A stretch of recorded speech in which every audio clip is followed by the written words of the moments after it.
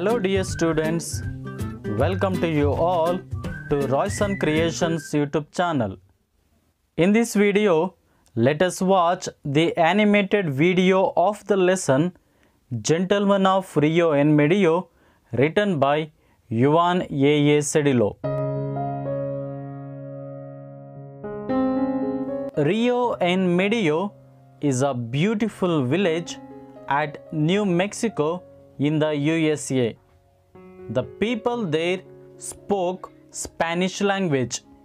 There lived an old man named Don Anselmo who was respected by all the people up there in the mountains. Don Anselmo's house was small and wretched but quaint. He tilled the same land his ancestors had tilled. The little creek ran through his land. His orchard was gnawed and beautiful. He had four acres of land. He wanted to sell his property to the Americans due to some reasons, and they were ready to buy it for $1200. The Americans did not know Spanish language. So they approached the writer Juan A. A. Sedillo, who knew English as well as Spanish language, but it took months of negotiation to come to an understanding with Don Anselmo. He was in no hurry. What he had the most of was time. After many days, he came into the office of the writer to sign the sale deed. Then he removed his hat and gloves slowly and carefully. When he did that, the writer was reminded of Charlie Chaplin. Then, then the old man bowed to all those who were in the room. Don Anselmo, we have made a discovery. You remember that we sent that surveyor, that engineer, up there to survey your land so as to make the deed. Well, he finds that you own more than 8 acres. He tells us that your land extends across the river and that you own almost twice as much as you thought. And now, Don Anselmo, these Americans are buena gente, they are good people, and they are willing to pay you for the additional land as well at the same rate per acre so that instead of $1200 you will get almost twice as much and the money is here for you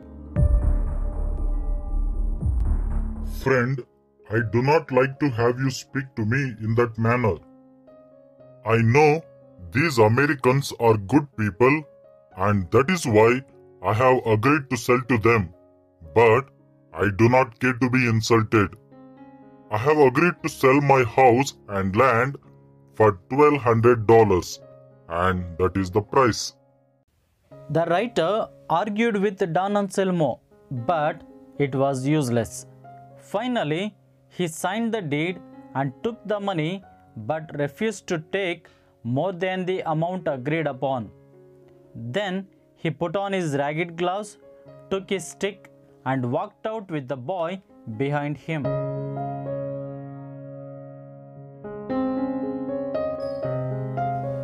A month later, the Americans had moved into Rio en Medio. They had replastered the old house, pruned the trees, patched the fence, and moved in summer. One day, they came back to the office of the writer to complain. The children of the village were overrunning their property. They came every day and played under the trees, built little play fences around them, and took blossoms. When they were spoken to, they only laughed and talked back good naturedly in Spanish. The writer sent a messenger up to the mountains for Don Anselmo. It took a week to arrange another meeting. When he arrived, he repeated his previous preliminary performance. He wore the same faded cutaway, carried the same stick, and was accompanied by the boy again. He sat down with the boy behind his chair and talked about the weather. Finally, the writer broached the subject. Don Anselmo, about the ranch you sold to these people. They are good people and want to be your good neighbors always. When you sold to them, you signed a document, a deed, and in that deed, you agreed to several things. One thing was that they were to have the complete possession of the property. Now, Don Anselmo, it seems that every day the children of the village overrun the orchard and spend most of their time there. We would like to know if you, as the most respected man in the village, could not stop them from doing so in order that these people might enjoy their new home more in peace. We have all learned to love these Americans because they are good people and good neighbors.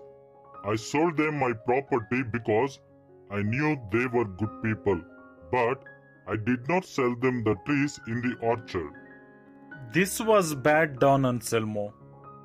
When one signs a deed and sells real property, one sells also everything that grows on the land, and those trees, every one of them, are on the land and inside the boundaries of what you sold. Yes, I admit that. You know, I am the oldest man in the village. Almost everyone there is my relative, and all the children of Rio en Medio are my sobrinos and nietos, my descendants.